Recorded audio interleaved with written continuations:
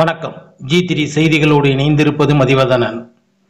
காங்கிரஸ் ஆட்சி காலத்தில் கொண்டு வந்த காரணத்தால் நூறு நாள் வேலைக்கான நிதியை மோடி அரசு குறைத்து வருவதாக அமைச்சர் கே என் நேரு குற்றம் சாட்டினார். இனி விரிவான செய்திகள்.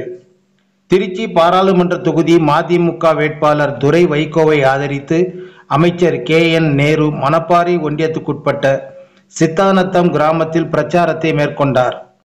குறிப்பாக காங்கிரசிலே சோனியா காந்தி அவர்கள் மன்மோகன் சிங் காலத்திலே நூறு நாள் வேலை திட்டத்தை சிறப்பாக கிராமங்கள் தோறும் கொடுத்தார்கள். ஆனால் இன்றைக்கு இந்த அரசு மோடி அரசு நூறு நாள் என்பதை இருபது நாள் முப்பது நாள் நாற்பது நாட்களுக்காக குறைத்து காங்கிரஸ் திட்டம் அதையே நாம் செய்ய வேண்டும் என்று நூறு நாள் வேலை திட்டத்தை சுருக்கிவிட்டார்கள் எனவேதான் நமக்கு ஒரு நல்லதொரு அமைச்சு ம- அமைச்சர் மத்தியில் அமைய நமக்கு ஒரு வேட்பாளர் உறுப்பினராகி நமக்கு நல்ல திட்டங்களை தர உங்களுடைய பெருவாரியான ஆதரவை கிராம மக்கள் அனைவரும் தந்து உதவுமாறு கேட்டு விடைபெறுகிறேன். நன்றி வணக்கம். வாக்கு சேகரிப்பில் ஈடுபட்டிருந்த அமைச்சர் மற்றும் வேட்பாளருக்கு பொதுமக்கள் ஆராத்தி எடுத்து உற்சாக வரவேற்பு அளித்தனர். ஜி த்ரீ செய்திகளுக்காக மணப்பாறை செய்தியாளர் ஜெரால்டு. உங்களுக்கு மாதம் ஆயிரம் ரூபாய் யார் கொடுத்தாங்க நம்முடைய முதலமைச்சர் அண்ணன் தளபதி கொடுத்திருக்காரு நீங்க டவுனுக்கு போனீங்கன்னா இலவச பஸ் பயணம்.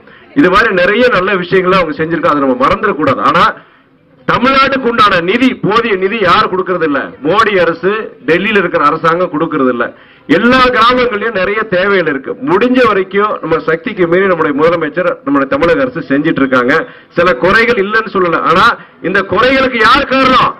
மத்தியில் இருக்கிற மோடி.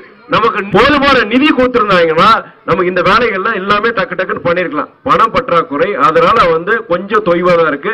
அதனால நம்ம சொல்றோம் இங்க மத்தியில டெல்லியில மோடி போய் நம்ம ராகுல் காந்தி வந்தாருன்னா நிறைய வேலைகள் நம்ம செய்யலாம். மறுபடியும் ஜெயிச்சு வந்ததுக்கு அப்புறம் இதே இந்த கிராமத்துக்கு வந்து இதே இடத்துல உங்களுடைய தாய்மார்கள் எல்லாருக்கிட்டையும் விரிவா பேசி சில குறைகள் ஏதாவது சின்ன சின்ன குறைகள் இருக்குன்னா இந்த பகுதியில் கொஞ்சம் தண்ணி பிரச்சனை இருக்குன்னு நான் கேள்விப்பட்டேன் நான். முடிஞ்ச வரைக்கும் நம்முடைய சட்டமன்ற உறுப்பினர் சகோதரர் பழனியாண்டி மூலியமாகவும் நம்ம அமைச்சர் அண்ணன் கே என் நேரு மூலியமா என்னென்ன செய்ய முடியுமோ கண்டிப்பா நான் செஞ்சு கொடுக்குறேன். இந்திய இதோ தீப்பெட்டி சின்னத்துக்கு வாக்கு சேகரித்து வந்து கொண்டிருக்கின்றார்கள்.